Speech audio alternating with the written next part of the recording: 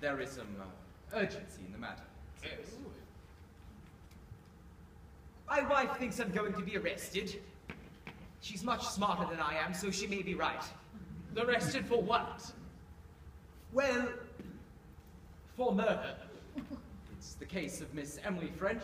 You've probably seen the reports in the press. Ah, She was a maiden lady living alone, but for an elderly housekeeper in a house at Hampstead. On the night of October the 14th, her housekeeper returned at 11 o'clock to find that apparently the place had been broken into, and her mistress had been crushed on the back of the head and killed. Uh, uh, that's right. Yes, quite an ordinary sort of thing to happen nowadays. Anyway, the next day I read in the papers that the police were anxious to interview me. So I went down to the police station and they asked me a lot of questions. Did they caution you? No, I don't think so. I'm not quite sure.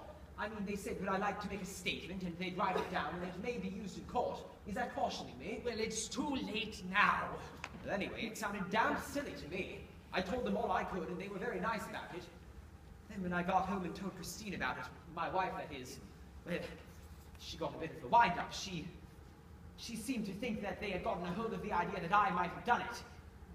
So anyway, I thought it might be a good idea if I got a solicitor, so I came along to you. I thought you might be able to tell me what I ought to do about it. Well, did you know Miss French well?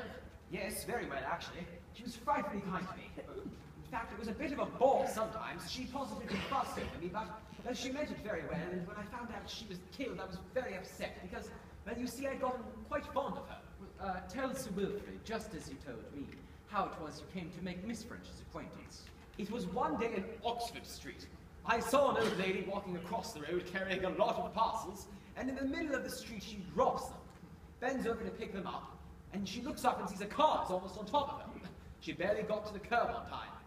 Anyway, after the cart passed, I went out into, I went out into the road and I picked up all the parcels, wiped the mud off of some of them, tied up one that had burst open with string, and generally soothed the old dear down, you know, the sort of thing.